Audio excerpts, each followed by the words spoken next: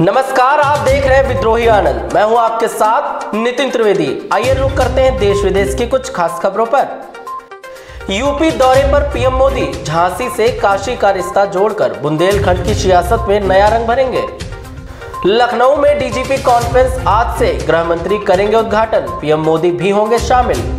राष्ट्रवादी Congress party प्रमुख शरद पवार ने शहरी नक्सलियों के प्रति चेताया कहा, राज्य सरकार के खिलाफ नफरत का भाव भरने की कोशिश। हेमा मालिनी और प्रसून जोशी को Indian film personality of the year पुरस्कार से किया जाएगा सम्मानित।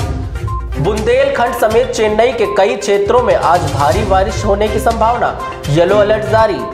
राजस्थान में कोविड से ढाई साल के बच्चे की मौत, एक दिन में 18 नए मामले आए सामने। अहमदाबाद से पटना जा रहे विमान में अचानक खत्म होने लगा ऑक्सीजन। तीस हज़ार फीट की ऊंचाई पर 170 लोगों ने देखा खौफनाक मंजर। दिल्ली एनसीआर में काफ़ी खराब कैटेगरी में है हवा। एक यू आई हुआ दर्ज।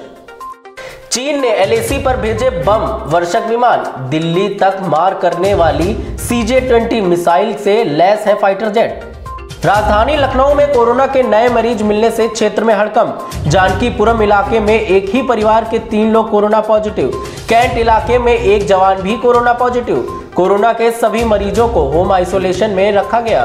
लखनऊ में कोरोना के एक्टिव मरीजों की संख्या बढ़कर 19 हुई। ऐसी खास खबरों को देखने के लिए बने रहे हमारे साथ और देखते रहे विद्रोही आनंद। हर खबर पर होगी आपकी पकड़। सब्सक्राइब करिए हमारे चैनल विद्रोही आनंद को और बेल आइकॉन दबाना न भूलिए।